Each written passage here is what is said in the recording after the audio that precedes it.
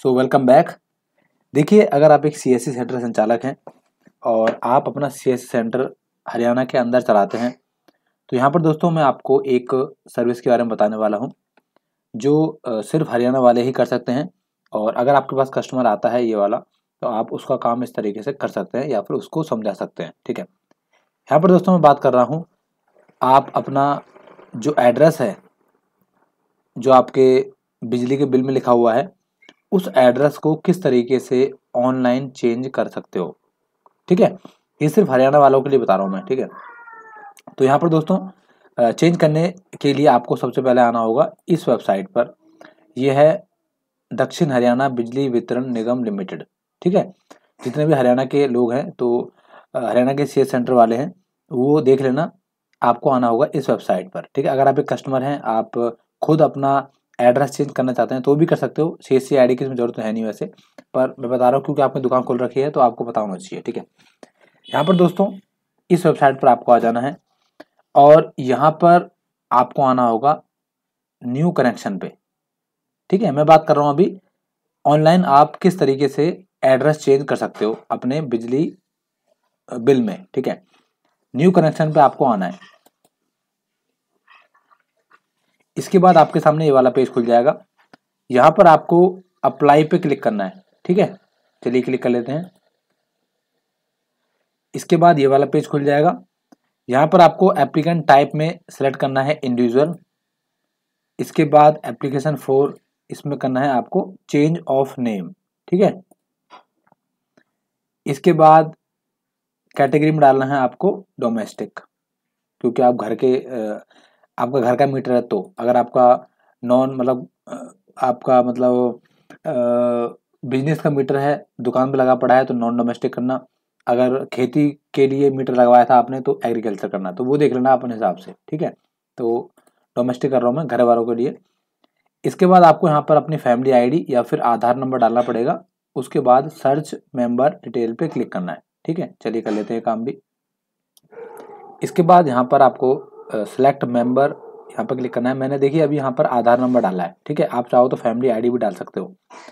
इसके बाद यहाँ क्लिक करेंगे। इसके बाद देखिए, जिसका भी नाम आपके आधार कार्ड से या फिर इस फैमिली आईडी से लिंक है बिजली विभाग में, वो नाम यहाँ पर आ जाएगा। ठीक है? जैसे मेरा नाम आ गया है। इसके बाद सेंड ओ टी पे क्लिक करना है।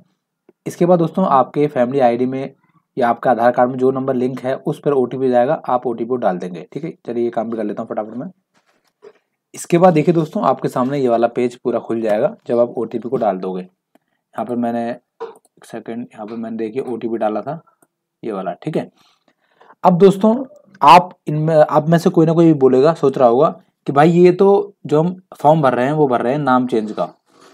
देखिए, मैंने अभी ऊपर चेंज ऑफ़ नेम सेलेक्ट किया है, ठीक है? और आप बता रहे हो हम एड्रेस चेंज करें। तो देखिए दोस्तों, बात यह है, मेरे पास एक कस्टमर आया था उसी कस्टमर ने मुझे बताया था कि वो बिजली बोर्ड गया था और उसको नाम, अपना एड्रेस चेंज करवाना था।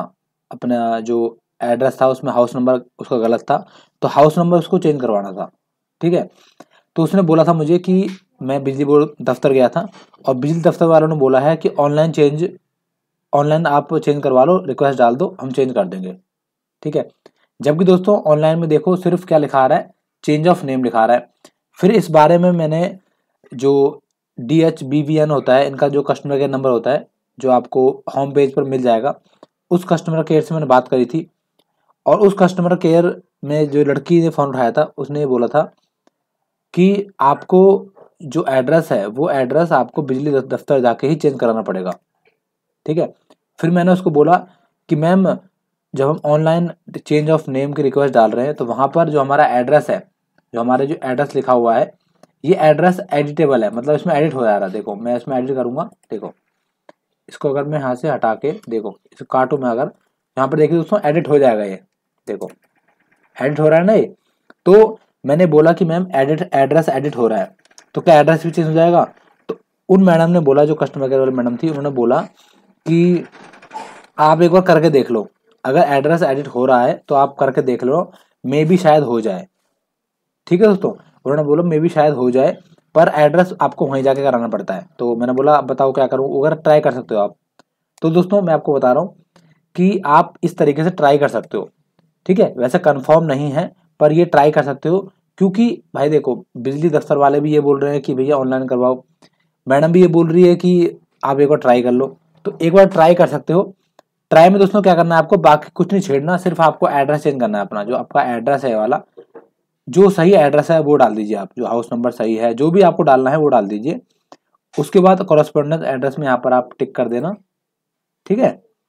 इसके बाद जो भी आपका मीटर का लोड है, जितने मीटर जितने लोड का आपने मीटर लगवाया सब कुछ डाल देना सही सही, जो कि है, पहले से ही। सिर्फ़ आपको एड्रेस चेंज करना था, ठीक है दोस्तों? मैं अब भी कर रहा हूँ दोस्तों, सिर्फ़ हम ट्राई कर रहे हैं ये, क्योंकि जो कस्टमर केयर वाली मैडम है, उन्होंने भी ये बोला है ये मतलब बोला है ट्राई कर लेना, और जो कस्टमर आया था, उसने भी ये बोला है कि भैया, बिजली बोर्ड वाले भी ये कह रहे हैं। ठीक है तो मैं उसके बिहाफ पर बोल रहा हूँ दोस्तों, मैं कन्फर्म नहीं कह रहा हूँ। ठीक है तो ये हो गया आपका। इसके बाद दोस्तों, आपको आना है नीचे सब कुछ भर देना। एड्रेस खाली एड्रेस भरना, अगर आप एड्रेस चेंज करना चाहते हो। वैसे नाम चेंज करना है तो नाम भी कर सकते हो चेंज वैसे, पर अगर नाम चेंज नहीं करना, आपको एड्रेस चेंज करना तो एड्रेस चेंज कर लेना यहाँ पर। ठीक है, इसके बाद आपको आना है नीचे। मैं आपको बता देता हूँ कौन कौन से डॉक्यूमेंट आपको लगाना पड़ेंगे यहाँ पर। तो यहाँ पर दोस्तों देखिए आपको एड्रेस प्रूफ में क्या लगाना है। सबसे पहले तो फ़ोटो आ जाएगी आपकी, यहाँ फ़ोटो है, ठीक है, पचास के बी तक की। इसके बाद है प्रूफ ऑफ़ ऑनरशिप दोस्तों यहाँ पर आपको क्या डालना है? यहाँ पर आपको, आपकी जो रजिस्ट्री है रजिस्टर पे जो एड्रेस लिखा हुआ है मतलब जो एड्रेस आपको लिखवाना है, वही एड्रेस आपको रजिस्ट्री पे लिखा होना चाहिए। तो वो रजिस्ट्री डालना प्लस में आप एक एफिडेविट बनवा के लाना कोर्ट में जाके। वहाँ पर उनको बोल देना कि, सर मुझे बिजली, अपने बिजली के बिल में एड्रेस चेंज करना है उसकी एक एफिडेविट बना दो तो वो बना देंगे आपको, बना के दे देंगे, ठीक है? वो मतलब रजिस्ट्री और वो साथ में लगा के अटैच करके आप यहाँ पे अपलोड कर देना, ठीक है? इसके बाद प्रूफ ऑफ़ आइडेंटिटी में आप सेलेक्ट कर लेना, चाहे आधार कार्ड डाल दो, चाहे फैमिली आईडी डाल दो, जो मर्ज़ी हो वो डाल दो, ठीक है दोस्तों? जो आपने ऊपर सेलेक्ट किया था वही डाल देना, ऊपर एक ऑप्शन था सेलेक्ट करने का, कि आप प्रूफ क्या प्रूफ में क्या देना चाहते हो तो वही प्रूफ यहाँ पर डाल देना आप, ठीक है? अकाउंट होल्डर का नाम आ जाएगा यहाँ पर यहाँ पर नंबर आ जाएगा आपके, जो मीटर का नंबर है, एड्रेस यहाँ पर डाल देना दोबारा से। ठीक है दोस्तों? तो दोस्तों वैसे देखिए, ये ऑप्शनल है, आप छोड़ सकते हो इसको, ठीक है? अब दोस्तों ये सब कुछ कर लिया आपने। इसके बाद आपकी फ़ीस कटेगी, शायद पचास से साठ रुपए की, कुछ ऐसी कटेगी फ़ीस आपकी। फ़ीस काट लेना। उसके बाद आपको कहीं नहीं जाना मतलब इस फॉर्म को निकलवा के आपको कहीं लेके नहीं जाना। क्योंकि आपने ऑनलाइन अप्लाई किया है। अब दोस्तों, कुछ दिनों बाद आपको मतलब कुछ दिनों वेट करना है, उसके बाद चेक करना है, हो सकता है आपका बिल जी का बिल जो जो एड्रेस है वो चेंज हो जाए, ठीक है? दोस्तों, मैं आपको बता रहा हूँ दोबारा से, ये सिर्फ़ मैं ट्राई बता रहा हूँ आपको ट्राई कर सकते हो, पर वैसे देखा जाए तो ऑफिशियली कोई भी तरीका नहीं है एड्रेस चेंज करने का, पर क्योंकि जो मैडम है कस्टमर केयर वाली, वो भी कह रही थी, और वहाँ पर भी जाकर कस्टमर वापस होकर आया है, बिजली दफ्तर से भी, बिजली दफ्तर वाले बोल रहे हैं, भैया वहाँ जाकर कराओ। तो दोस्तों, उस बिहाफ पे कह रहा हूँ मैं, आप इसको ट्राई कर सकते हो। ठीक है दोस्तों? तो अगर आप दुकान वाले हो या फिर कस्टमर हो तो इस वीडियो को देख लेना मतलब समझ लेना अच्छी तरीके से। और इस वीडियो को लाइक भी कर देना और कुछ भी आपका डाउट हो तो कमेंट कर देना। Thank you very much